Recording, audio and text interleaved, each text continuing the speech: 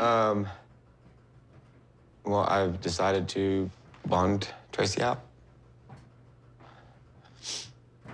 Clint, what is it going to take?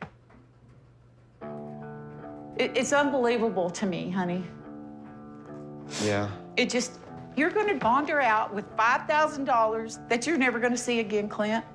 No, I'm gonna yeah. get it back. How do you know that? She just got to show up, make sure that she shows up for her court dates. I know, but what if she skips out? She won't skip. Oh, yeah. I mean, the minute she got out of prison, when two years ago, what happened?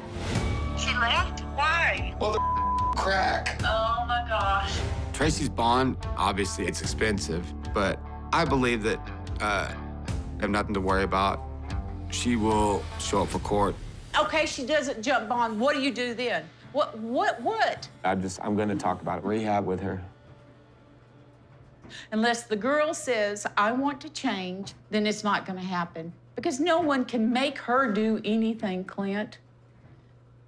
I mean, don't shake your head, I, I'm, I'm... You look at me, and you look at me, and you look at your mother good.